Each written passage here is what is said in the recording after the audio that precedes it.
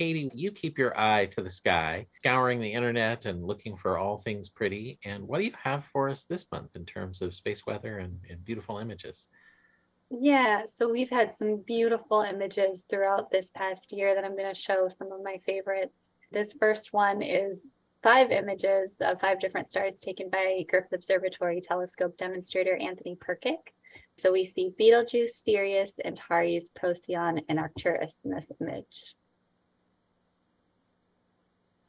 And then from another telescope demonstrator, Todd Kunioka, this is Jupiter and Saturn behind Face Rock from Joshua Tree National Park. This was taken in August. And then a stunning image by Blake Estes. This was in September. This is Sharpless 1 in Comet 2017 K2 PANSTARRS. And then we have the moon with Venus. This was taken by Geordie Coy. And of course, JWST's beautiful image of Jupiter I had to keep in here. And then just some beautiful pictures of the city and the observatory. This one was taken by a museum guide, Jared Donkersley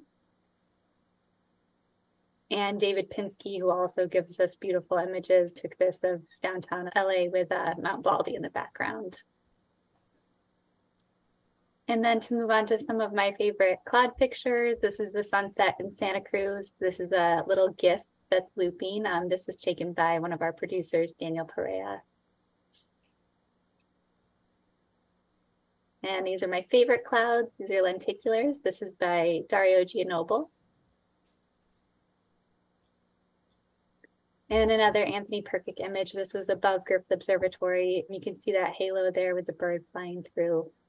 That was just a beautiful image.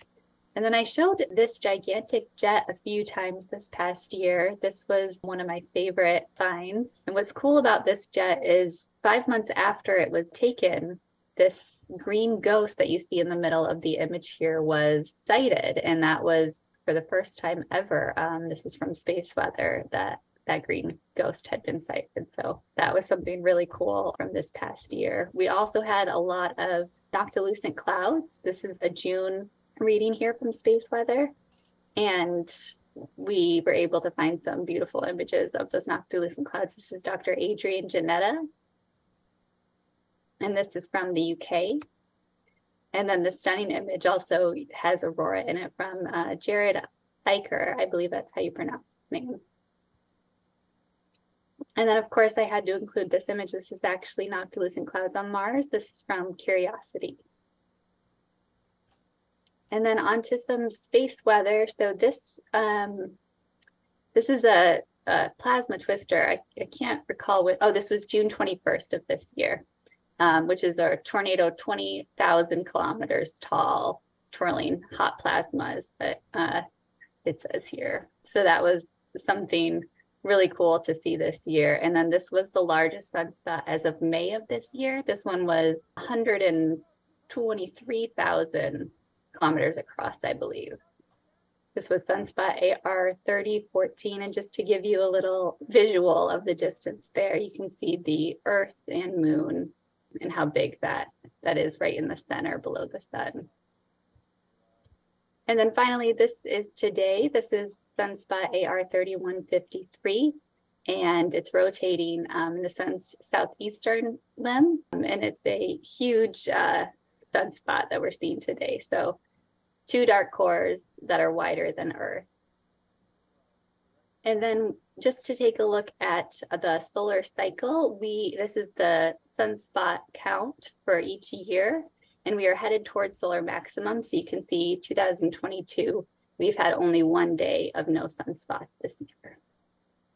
And some of my favorite uh, aurora photos from this year, this was Evan Zucker, who I believe went to Alberta to see these.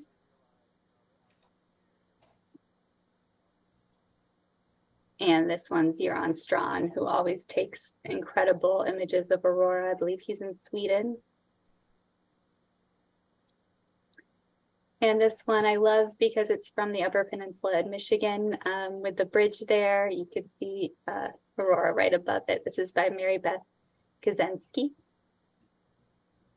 And then finally, a more recent image. This is from November of this year, and this is from Oliver Schwen, who also takes incredible images of aurora and other things as well. So I just want to say a big thank you to everyone that allows us to use their photos and, and show them during all space, because it's a pleasure to be able to show that.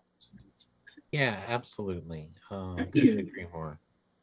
I do think you probably should say though that when you say green ghost, you should make it clear that's a nickname.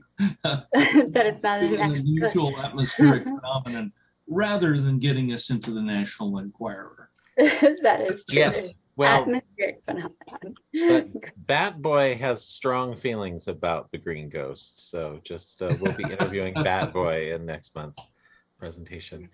Um, well, thank you, Katie, so much for uh, that space weather. The, those aurora photographs make me want to become an aurora chaser. Uh, the videos and photos.